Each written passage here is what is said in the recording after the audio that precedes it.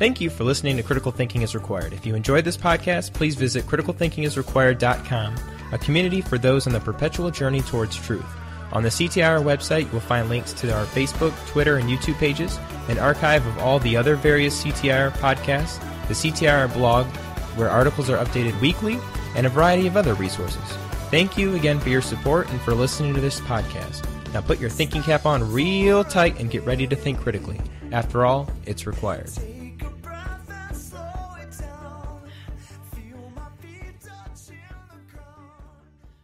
Hello, and thank you for listening to Critical Thinking is Required. You're about to listen to interview 27 with Stephan Kinsella, and today we're going to talk about um, intellectual property and the broad topic, and about his book, uh, Against Intellectual Property. Uh, Mr. Kinsella is a registered patent attorney. He's the founder and executive editor of Libertarian Papers, among other things. And you can check out more about him at stephankinsella.com. And thank you for taking the time to talk to me today. Sure, glad to be here. Okay, so uh, I normally ask this question to people I talk to, and I'm just wondering uh, why specifically are you a libertarian? Like, how did you get there? What happened? What did you do to get there? So I was like in 10th or 11th grade in high school in Louisiana, and a teacher who knew I liked to read recommended The Fountainhead to me. So I started reading Ayn Rand, and that that just opened up, uh, you know, her works and the works of others that she led me to like Henry Hazlitt and others led me to econ- economic reasoning. And I think just a passion for justice and for individual rights and for consistency led me to finally just adopt um, the ideas uh, wholesale. And I eventually was led to Rothbard and Mises and others. And uh, before a few years passed, I was. Um, okay. What? Yeah, go ahead. It's always interesting how everybody always has that same beginning. I started with uh, uh, Atlas Shrugged and then Henry Hazlitt, uh, Economics in One Lesson, and that's kind of what led me to where I am. But I've had friends that read Atlas Shrugged and are like, "What is this? This is garbage." So it's like there's something before that too. um, but I also I find that most people that have that view of Ayn Rand are all are usually already libertarians who came to it in a different way, and they Yeah. have this sort of disdain for her thought people that read it like first really like it or they like something about it.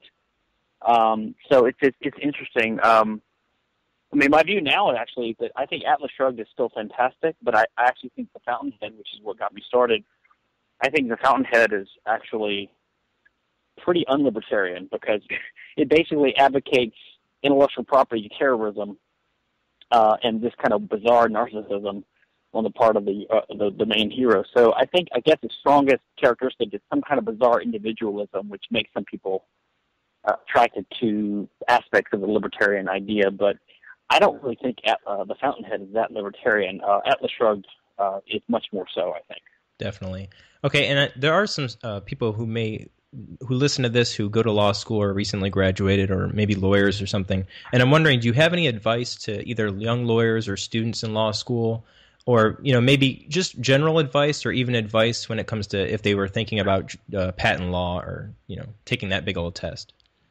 I do. I I, um, I actually have a, a long blog post which I can send you the link to. Maybe you can include it in um, the That's show notes great. or something. Yeah, definitely. Um, I have a, a, um, an older post so it's called something like "Advice to Anarchist Libertarian Law Students or Prospective Law Students," because I've gotten questions like this many times over the years, and um, um, I and friends of mine have cobbled together. You know, it's not systematic, but just a variety of uh, uh, uh, you know, comments and advice and things like that. Um, I guess my main advice would be a couple things. Uh, on the ethics front, I would say you you just should not engage in a profession that is um, that you just can never square ethically. Like I just think you can't work for the Drug Enforcement Administration, you know, preventing people from doing drugs. You know, you can't work for the federal prosecutor putting people in jail for victimless crimes. Um, other than that, there's a lot of legal professions that you can you can get involved in that can be good careers. And so I would say among those careers, after you get rid of the ethical issues, you get past the ethical issues, um, I think you have to focus on the career as a practical career and just you really you're not always going to be able to integrate any ethical uh, any libertarian considerations into it. In other words, I would just focus on your career and not try to be a libertarian. I would almost view being a libertarian as, as like someone who's a Methodist or who's a Pentecostal or who's a Catholic or or religious. You know, they go to church on the weekends. It's their hobby or their side thing. Yeah. Um, I know it's important to people in their lives, but I've just seen it so many times ruin people's career aspirations because they keep asking, you know, who, who's a libertarian lawyer that I can hire, or what kind of libertarian profession can I get involved in? And I, I do think that there are certain boundaries as an ethical human being that you shouldn't cross. Okay, but I don't think that you want to be a libertarian attorney. You want to be an attorney that's good, or whatever your profession is, or your or your career. Okay, so let's talk about your book uh, against intellectual property. I I was going to just talk to you about it, but then I, I, decided, hey, it's short, so I read it yesterday. It t- didn't take very long, and it, it was pretty good, and it, it kind of like it took everything and kind of made it easy to read in a really short, not very long book, which is easy for someone like me. And I'm just wondering, what's the main thesis of what you were writing there? So I wrote that book in '99, 2000 because I was a, a fairly fresh young patent attorney at the time and a libertarian and interested in libertarian, you know, political philosophy and rights theory and economic and legal theory. And I just saw a lot of confusion in this area, and I, I, I just wanted to sort it out myself. So I did, and then I decided to write it up because there wasn't a lot out there in a clear way. Um, and by the way, uh, in the last, I guess, 12, 13, 14 years since it's been published, you know, I've written a lot of blog posts and other articles. So my, my plan right now is to publish a brand new work in probably about a year, um, just restating the whole thing from scratch. And the, the tentative title is Copy This Book. Um, and I, I think it'll be even more basic and present things from the ground up better than the original one did.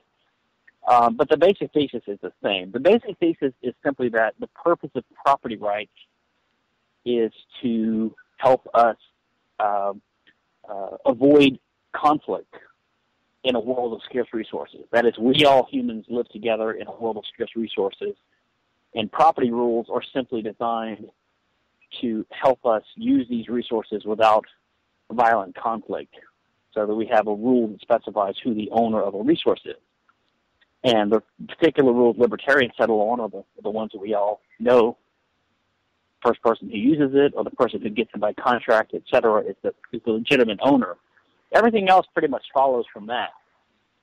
Uh, the thesis of the IP work is is that intellectual property laws are in conflict with property rights. That is, they undercut and invade property rights um, by the power of the state. Um, and there's a lot of harms that flow from this in the field of copyright and patent in particular, which are the two main types of intellectual property law. Um, so the idea is that intellectual property, in particular patent and copyright, are based upon a flawed understanding of the purpose, nature, and role of, of property rights, and that the state institutes them, and it basically amounts to a type of legalized theft or taking – uh, it, it sets up monopoly privileges. It protects people from competition. It permits people to use the power of government courts to take other people's property, uh, to put it simply. So it's really just another example of the way that the state corrupts natural law by the power of legislation and allows property and wealth to be redistributed from one class to another.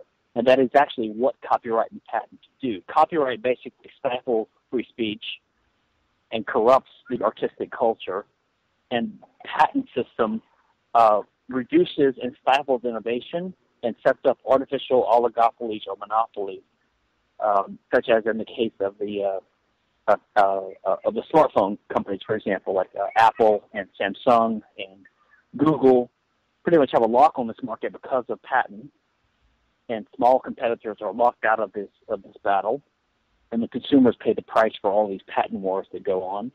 And in the face in in, in, the, in the field of, of copyright, um, we have uh, restrictions on what you can do with information that you've learned from from the culture, um, which results in the government seizing power over companies, seizing their assets, as in the case of um, Mega the mega upload, the mega company, you know, down in New Zealand, um, putting people in jail, threatening to regulate the internet, which is the greatest tool of human freedom ever devised and ever known. So copyright and patent are two of the worst things that the state does, I believe, and there are complete corruptions of property rights, the free market, um, and natural natural law. People don't realize this because they fly under the banner of property rights. They're called intellectual property rights, which is just a propaganda term, come, which was come up with by the advocates of patent and copyright because, you know, in the 1800s, all these free market economists were saying, what the hell's up with, with these patent and copyright laws? They're basically an infringement on individual rights and free market and property rights. So the defenders who were trying to rely upon these laws started saying, "Oh no, it's it's a type of property right." So they started calling them property rights just to just to uh, just to defend these laws. But that's just complete propaganda. So my problem with patent and copyright is that they're completely unproprietarian, unfree market. Um, I would even argue they're unconstitutional, and we can get into that if you want to. Okay, so there's my understanding there were four different types of IP law that you talked about in your book, and it was trade secret, trademark, patent, and copyright. And I just want to talk about two of them real quickly. And what's a trade secret? What is that briefly? Well, so a trade secret is uh, some information or knowledge that is held by a given company or person, which is not widely known, and which gives them some kind of competitive advantage in the free market. Okay, that's what a trade. That's what a trade secret is. Trade secret law is the doctrine that the government courts will step in and they will issue an injunction against a third party to prevent them from spreading information if it's not yet made public, which is the part of it that's unlibertarian in my view. There's so, nothing wrong with keeping information secret, but the problem is that the government courts will enforce the trade secret right against even a third party, not merely a contractor or a, a former employee, but even against a third party. So I believe trade secret law is totally unlibertarian, although it doesn't do that much damage in practice. Okay, is it similar to civil theft? No. No. I don't think it is similar to civil theft. Trade secret just means you can keep information secret, which you don't really need a special law for. Anyone's entitled to keep information. Okay, secret. so no one's actually taking the property or the item uh, let, let's say it was the the recipe for KFC whatever and it was locked somewhere. I mean if someone just if someone shared it that's different. Uh, but if someone actually took it out of there that's what I'm wondering if it's civil theft. If, if you took well, the, the, the, the, typical example would be um, you have employees which have access to information owned by the company okay? And they have an agreement with the company that they're they have to keep this information confidential even if they even after they quit like the recipe for KFC or Coca Cola or whatever. Okay. So, under standard contract and even fraud law, you could you could have them liable if they violated their contract, which mm-hmm. was a, comp, a, a contract, an obligation of confidentiality. Trade secret law goes beyond that. In other words, you don't need trade secret law for that part. All you need is contract law. Right. Trade secret law lets the owner, the so-called owner of the confidential information, go to a court to seek an injunction, not only against the in, the former employee who is about to reveal the information he promised not to reveal, okay. but against other people that he's revealed it to, it. who are third parties. Okay, so it's it's kind of like Edward. Kind of, it's kind of like Edward Snowden taking the information and not, and then him giving it to uh, Greenwald, and then Greenwald would be punished yeah, kind of. That, that would be a better, better. That would be a better analogy. Um, yeah, exactly. Okay. Okay. So I get that. Okay. So let's go to trademark. And what is that? And what's the libertarian trademark? View? Trademark is a um, well, trademark is a right that are, are, did arise under common law, just like trade secret did. Unlike patent and copyright, by the way, which which were totally statutory and, and did not arise under common law. Uh, trade trademark is just the right um, associated with um, the source or the identifier of the source of goods. Okay, so it has to do with the source of goods. So Coca-Cola is another example. The Coca-Cola company sells a, a can of soda called Coca-Cola that tells consumers that this is from this producer or the supplier. Um, trademark rights are basically a right of the original user of the trademark to prevent other competitors from using a similar mark that might confuse consumers. And therefore, a lot of libertarians think that trademark, even if copyright and patent are problems, they think trademark is sort of rooted in the idea of fraud, like mm-hmm. you're trying to deceive or defraud consumers, and therefore it's somewhat legitimate, which was a little bit my original view, which I did hint at in, in the, the Against IP article.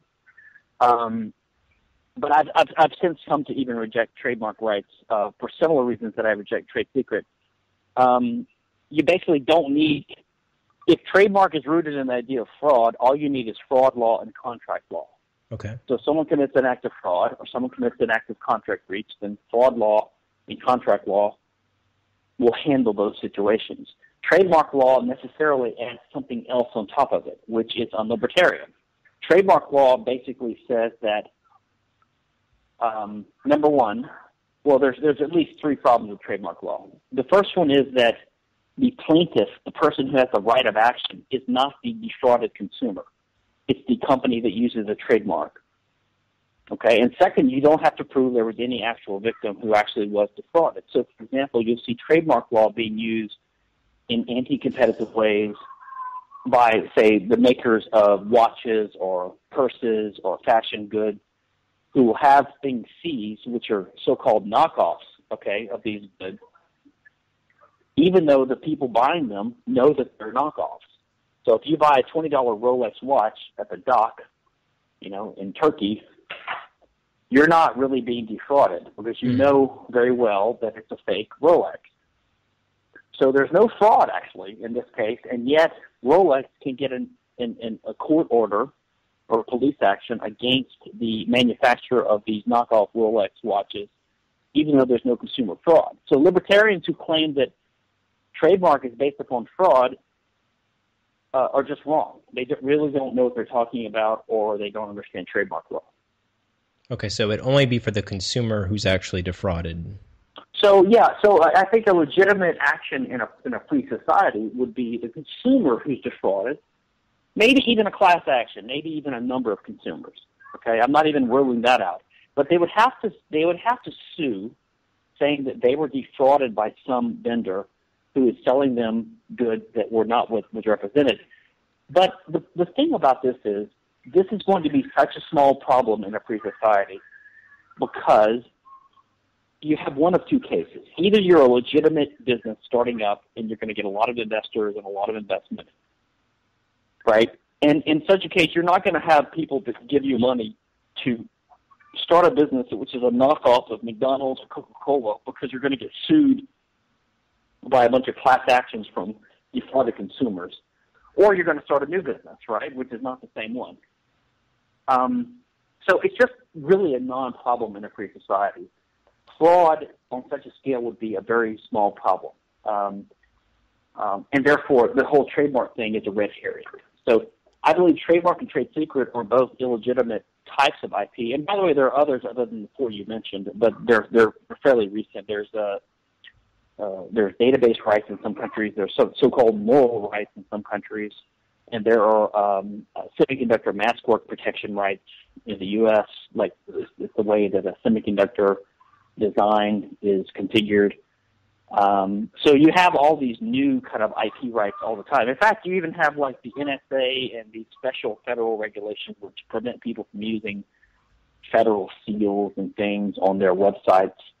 It's like a quasi IP. But the, the, the big four are trademark, trade secret, copyright, and patent. Okay, and then I, I was doing some research, and there's something called the Patent and Trademark Office. And I'm just wondering. Yeah, the, patent, the PTO, Patent and Trademark Office. okay, right. so the, the federal, trademark federal agency. And when you make a trademark or you do a patent and you go through the legal system, you like send something to them. And I'm just wondering, and then they, they actually approve it because I know there's a th- Supreme Court case coming soon, and they would actually like approve it or you know put a stamp on it and say this is okay. Well, sort of. Um, uh, I actually am. I have never quite understood why the well, trade secrets is primarily a state a state thing, although there are federal aspects to it. But trademark, trade, uh, copyright, and patents are handled on the federal level by by two different federal agencies. The Patent and Trademark Office, the PTO, handles trademark and patent, and the Copyright Office handles copyrights. Hmm. Um, I don't really understand why they're divided that way. I believe that the More Copyright Office under the it's under the Library of Congress. Um, the Trademark Act is actually unconstitutional, I believe, because there's no authorization for federal trademarks in the Constitution. Um, but for some reason, the uh, the trademark law and the patent law are handled by one agency, and the copyright law is handled by another agency. Ever since the early 80s, and since the U.S. acceded to the Berne Convention, which is a copyright treaty which we pushed on other countries, uh, copyright is automatic, so you don't have to apply for copyright. Oh. You have the copyright automatically in an original work of creative expression as soon as you fix it in a tangible medium, which means as soon as you write something down. As soon as you write it on a piece of paper, as soon as you email someone something, you have a copyright in that created content automatically. You don't have to put a copyright notice on it. You don't have to register it. Those are just formalities which are not necessary. Uh, in the trademark field, you have state trademark rights automatically as soon as you start using a mark in commerce to sell a product. But you can get a federal trademark registration by filing the registration. So that is an application. You you do need to apply for it to get the federal mark. Although even if you don't apply, you still have state trademark rights. Now patents are a different field. Those are basically all or nothing. You have to apply to get a patent, and if you don't apply, then you don't get a patent. And and there are no patent rights. And in fact, once the idea becomes publicly known, no one else theoretically can get a patent on it either. So the uh, patent system is an application system. You have to apply for it. Okay, for the patent system, are they elected or is it just some random people? So the patent system has a commissioner, which is appointed by the president. So that's a political office, but it's basically a bunch of bureaucrats in Crystal City, Virginia, and Washington D.C., which uh, is sort of like the post office. It it, it can it can um, it can uh, collect its own fees, and it's pretty much, as far as I understand it, not only is it self-sustaining, I think they actually make a profit, but of course the federal government passes that off every year.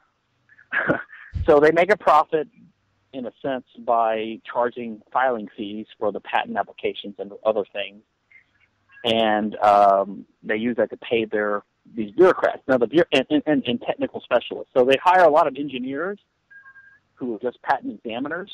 So there's like a huge corps of tens of thousands of these people divided by technical specialty computer science, biological sciences, material science, mechanical, uh, hundreds, hundreds, hundreds of specialties. And when you submit a patent application to the patent office, some some some some first office reviews it and decides which group to send it to, and then they send it to that group, and that group now has ownership of it, and they have to they have to assign an examiner to examine it. So that's how that process works. Okay, and since we're talking kind of on patents, I'm just wondering, um, just generally, like if, if we got rid of patent laws, um, wouldn't we have less research? Uh, I was I was wondering, like, let, us say Ebola, and let's say there were companies that were trying to come up with a vaccine. Um, why would they invest in creating that vaccine if someone else could just take that product, um, look at the ingredient, you know, basically take the same ingredients and all that stuff, and then just build it themselves and then sell it?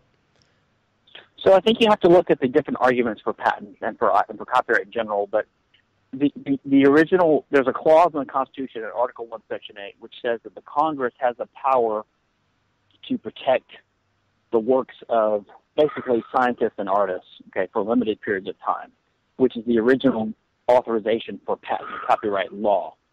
Which, by the way, is why this, the, the federal trademark law, I believe, is unconstitutional because there's nothing about trademarks in there.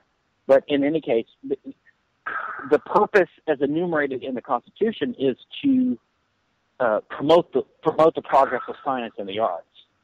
So it's a utilitarian purpose, sort of along the lines that you're alluding to.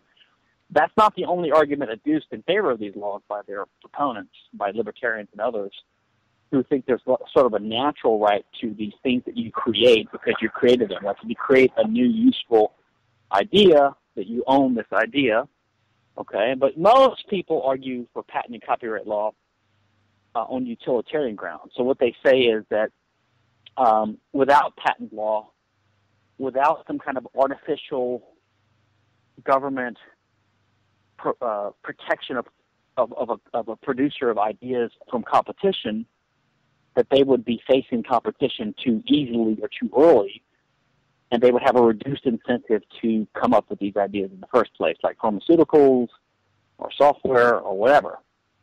Okay, so the idea is that if the government gives you a temporary monopoly on this invention, then you know you're protected from competition for 17 years or something like that. Okay, so now I, I know I'm protected from competition, so I have a, an, an increased incentive to engage in research and development because I can recoup my costs because I can sell these products at a higher price, which we normally call in economics a monopoly price, and I can make a higher profit. And uh, but so the whole idea there, first of all, empirically, this has never been proven. This is the assumption of the utilitarian or empirical argument for IP, for patent. And it has never been proven in the history of IP law. It's always argued like this, but the data has never demonstrated this. Um, the patent clause was put in the Constitution in 1789 before we had a lot of data. It was basically uh, to revive the remnant of the statute of monopolies from England in uh, 1623 so they just did it because they were used to that system. Um, in England, they didn't have a lot of data. And in the 200 plus years since then, there's never been any data to verify the claim that it does increase innovation. Um, in fact, the data shows the otherwise. It shows the opposite. It shows that patent system reduces innovation, it reduces competition, it distorts the economy, it distorts the structure of research and development and scientific discovery, um, and not only that, even if it did increase innovation, it would have to come at the cost of something else. It's like any government program. You know, the argument that the patent system encourages or increases innovation is sort of like the idea that NASA is a good program because we have spin-off technology. You know, like we have Tang. You know, they had to develop Tang as some kind of drink that the astronauts could drink. So we're better off because we have Tang. Well, we may be, we may not be. I don't know. I'm not a big Tang fan, but the point is, we spent billions and hundreds of billions of dollars to develop Tang, and that was had to be at the expense of something else that was not developed, or some other use of the funds that could have been um, that people could have used the, mo- the money for. So nothing is costless. Um, there is no doubt that the patent system distorts the economy. No one, no one can seriously with a straight face deny this, which means that some things are engaged in more frequently than otherwise, and other things are discouraged. Um, so, for example, you cannot get a patent on basic mathematical algorithms or scientific uh, physical proofs of the uh, laws of physics, like E equals mc squared, cannot be patented. Applications of these things can be. So what this means is that companies will devote more resources to things that can be patented and others that won't, to things that won't, less the less the things that can't be patented. So this does distort the economy. It distorts the structure of research and development, which implies that if we were to end the patent system, things would change. There's no doubt about that. Some things would be probably more invested in, and other things would be less invested in. But that just means we're returning back to a natural level that we would have in a free market absent government intervention. Okay, now just to transition, I always had this idea of coming up with this company where I would dress up like uh, like Curious George or Mickey Mouse. I have a, a four year old daughter, so I'm always thinking there's no businesses like this around here, and I'm sure there's a reason. And going to like birthday parties and having fun and you know making money that right. way. And I'm just right. wondering, what am I violating there? Patent law or copyright law? It's not patent law for sure. It's probably copyright or maybe trademark law. And in fact, in fact, this happens. I can give you hundreds of examples of things like this. Um, there are uh, restaurants which do not have the waiters saying "Happy Birthday," you know, the, the classic song "Happy Birthday to You," um, to patrons when they have a birthday because they've been warned that they have to pay royalties to the owners of the copyright to the Happy Birthday song so they make up a new song instead. Okay, same thing in movies or doc- documentaries. Uh, and there are companies that make cakes for birthday parties, and they cannot put Mickey Mouse on there because they're going to be sued by Disney, etc., under copyright or trademark law. Um, so what they do is they either make up something that's like Mickey Mouse, so it's kind of not quite as good. It's always kind of a ripoff. Or people tend to go to these fly-by-night, you know, little Vietnamese bakeries down the corner where the owners don't give a give a damn about copyright law. So it's not like legitimate. You have to go to the gray market or kind of go underground to get what you really want. So there's a, there's innumerable examples of this. Um, um, have you ever have you ever seen uh, uh, Nathan for You that show on Comedy Central?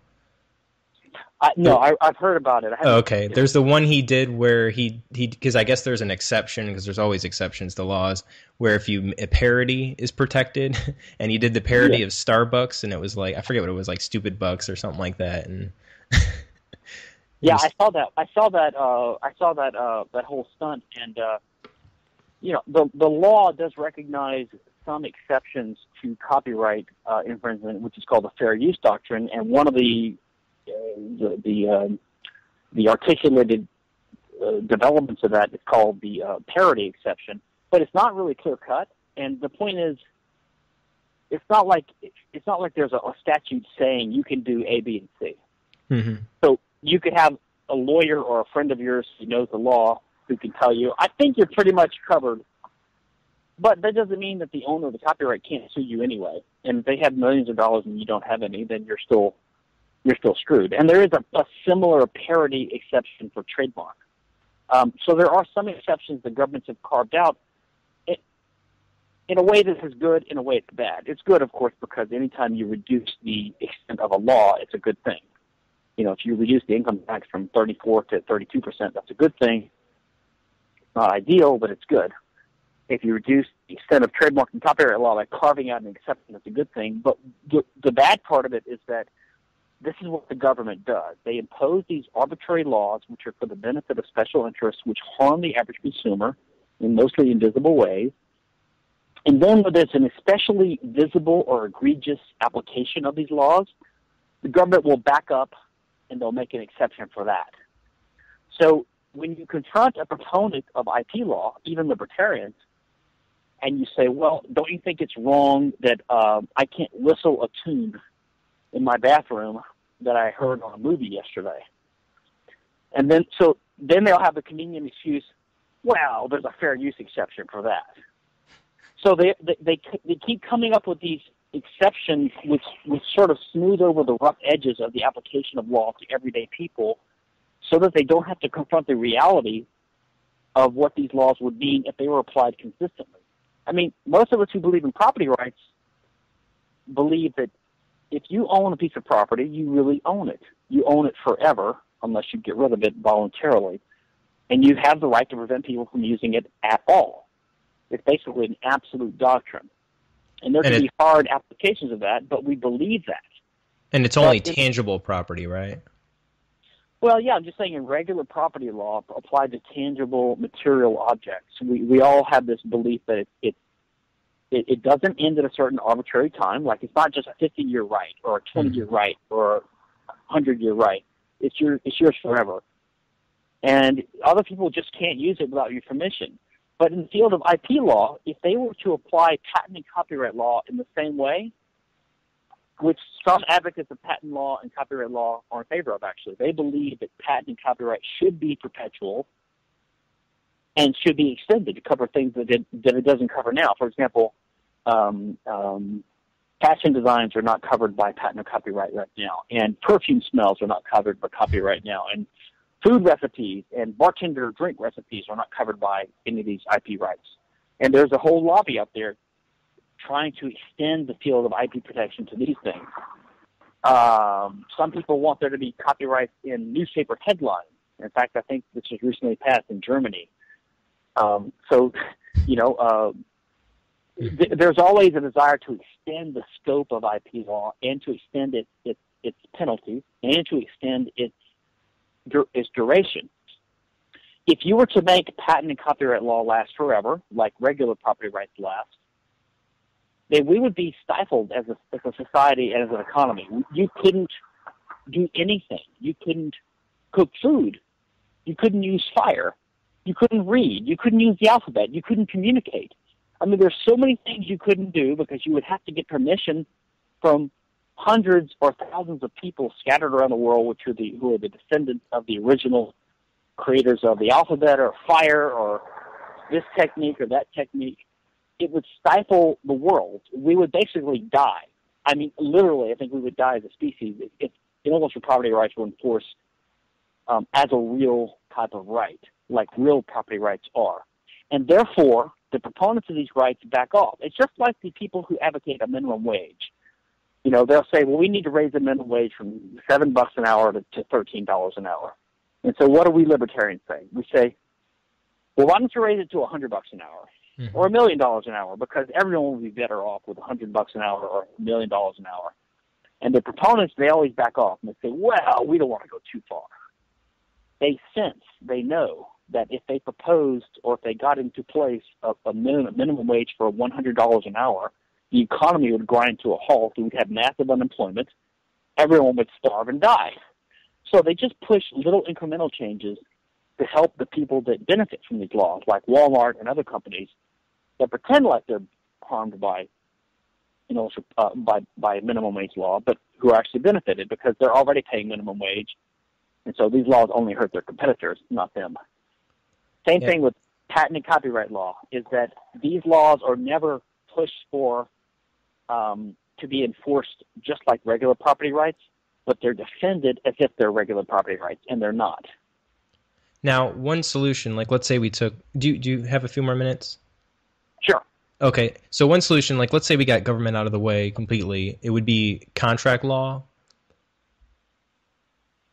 or you'd have some well, sort of contract would, would determine um, whether someone has a right to intangible property or something. So the way I view it is, well, first of all, I think property property law is the fundamental thing. That is the, the, the allocation of the right to control resources that people can have a conflict over, which are scarce resources, material things in the real world, things that we use as means in the real world to accomplish things. Contract law is just a consequence of that. Contract is just the it's just the exercise by an owner of a piece of property as to who gets to use it and that that exercise can be expressed orally, uh, sorry, verbally, uh, or I mean orally or written in a written in a written fashion, or it can be exercised, um, and it can be exercised um, in a complete fashion or in a partial fashion. So I can give you a temporary, or a complete, or a perpetual right to something. I can sell you something, or I can temporarily rent it to you, or I can give you a partial right or a complete right. That is, you can use it for whatever purpose you want. You can destroy it, or you can only rent my Avis rental car and use it to drive around town, and you can't destroy it, you can't sell it, etc. So you can do whatever you want as the owner of a resource because you're the owner. So contract is just the expression of will of the owner. So contract, in my opinion, is derivative on the fundamental notion of property right. Mm. Now, when it comes to what actions you're permitted to do in a free society, are you permitted to use this information? I think that basically is a question either of of property rights, which boils down to criminal law or tort law or trespass law, or it's a question of contract. Like, did you actually agree not to perform this this action? And if you did agree to it, what penalties did you agree to pay if you violate this this restriction. So I think yes, it would it would basically come down to contract law. Um, I think it's completely uh, absurd and unrealistic to imagine that it would be a widespread practice for people to agree to pay millions of dollars in penalties if they use information that they've learned on the free market. Like if you read a book and you learn something from it, or if you observe a competitor making a product and you want to compete with them by making something similar or even identical, I, it's, it's, it's almost impossible to imagine anyone would agree not to do this, or, or that they would agree to pay, uh, you know, uh, uh, absurd fines if they did that. But that would be the only way you could make such a system work in a free market by contract. Well, it, the idea is, is that it's infeasible. I'm I'm always surprised. I forget what they're called, but uh, anti-competitor uh, clauses. I don't know what the name. It's it's escaping me, not, but something non non non compete. Yeah, there you go. And I'm wondering, like, because people actually sign that, which is kind of crazy. The the idea that you can't work for a business for three years or something, uh, or you can't work for a similar business or maybe a competitor or something. Uh, so it, it's they do, conceivable. They do they those types of things are conceivable, but if you understand the way those are written, those are very limited in scope. Usually they're about one or two years at most, and most states won't enforce them past one year anyway. Most states won't enforce them uh, at all. And all it says is that I'm giving you training and information in a particular case, and you have to agree not to go use this information to hurt me within a certain time frame. Sometimes people find that in their interest to sign, sometimes they don't. But the point is, even those contracts only bind the the one person who signed it. That is yeah. the employee. Okay, patent and copyright are, are what we call in the law in rem rights. They're rights against the world. They're rights against yeah. property. They're rights to property. They bind people that have never signed a contract. So the the idea that you could use a contract model to come up with something like intellectual property is ridiculous. Um, it's literally impossible. Uh, you you just cannot bind third parties by a contract between A and B. It might bind A and it might bind B. And even that I'm skeptical of because of libertarian ideas about inalienability and other things and the theory of contract. But even if you could bind those parties, it would only bind them. It would not bind third parties. And you have to bind third parties to make any IP system work mm-hmm. at all. That's a great point. I didn't think about. So I have one final question, and it's uh, sure. kind of a nerd question. So let's pretend uh, we're 30, 50 years down in the future, and okay, I imagine it being like a video game. There was a book, uh, Ready Player One, that I read that was excellent. That I, I kind of view the future like this, and everyone has these pods in their houses, and they go online in this massive online gaming world. And I'm just wondering, and this is more of a property question, I suppose. And if if um, in the game I created something and it was a sword, okay? It's kind of nerdy. Or maybe I, I created something inside of it and there was only that one item. Um, do I have, uh, is that my property? Well, a, a similar question has come up for me with regard to Bitcoin and whether Bitcoin should be considered property. Um, um, so my view is no, and um, although I don't think it matters, even if it is, if the answer is yes, it still doesn't change the IP uh, analysis.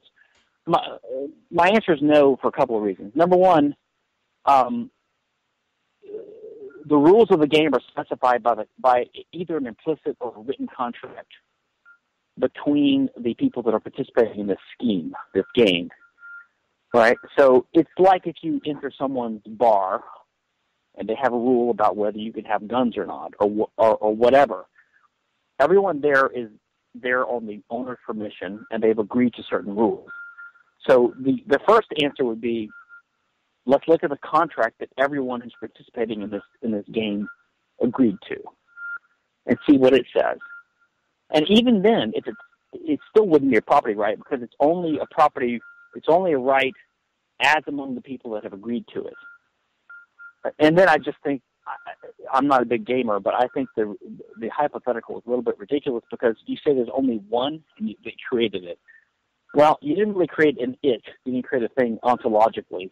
All you did was arrange pixels on a computer screen according to the, the rules of some program. And I don't understand why there's only one. I mean, it could be copied infinitely, easily, if the rules of the game permitted it. Okay. Right? Yeah. So it's, it's, it's, if it's scarce, it's artificially scarce, and it's only artificially scarce by the rules of the game the itself, game. which everyone's participating had to agree to. Um, I think a similar analysis can be applied to Bitcoin, although I'm not quite sure about this yet. Um, I don't think Bitcoins are property. In fact, I think the word property is another thing that you would have to look into in detail. The word property ought to be used upon careful reflection as a relationship between a human actor, an agent, an owner, and a particular resource, or really between the owner and other people in the world regarding a resource. So to call the thing that's the subject of a property right, to call it property is to confuse the issue. Agreed. Yeah. If you want to be technical, I would not call, uh, let's say I own a watch. I don't think the watch is property, technically speaking. The watch is a resource. I have a property right in the watch. Right? So mm-hmm. the question is not, is the watch property? The question is only this. When we identify a resource that can only be used by one person at a time, there can be conflict over that resource. Okay? So mm-hmm. then the question is, who gets to use it? Okay, so what's the property right that we favor? And libertarians say that, well, certain, there are certain rules that specify who's the proper owner of that resource. But the question is not whether the watch is property. The question is who has the property right to control this resource, this watch. And so when people that advocate intellectual property, they start to substitute the word property for the thing itself, they they load the question because they'll say, is an idea property?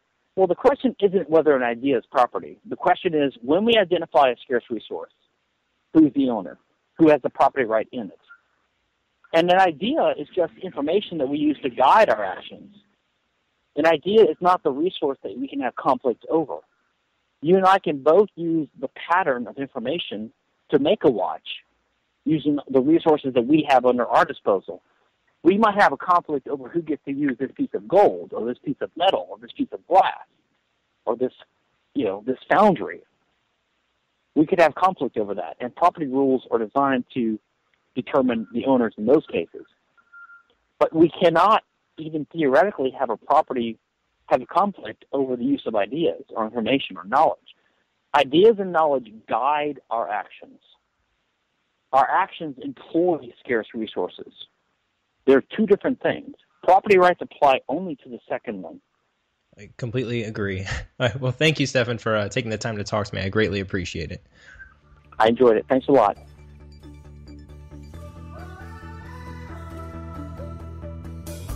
Thank you very much for taking the time to listen to this podcast. You are among the very few that listen to the whole thing. It's a rare occurrence, like seeing a unicorn or finding a politician that doesn't lie.